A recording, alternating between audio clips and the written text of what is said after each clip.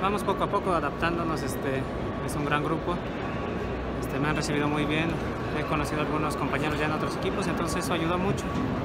Agradecido por la oportunidad que me están dando Veracruz de poder participar dentro de su escuadra y, este, y a trabajar con todo.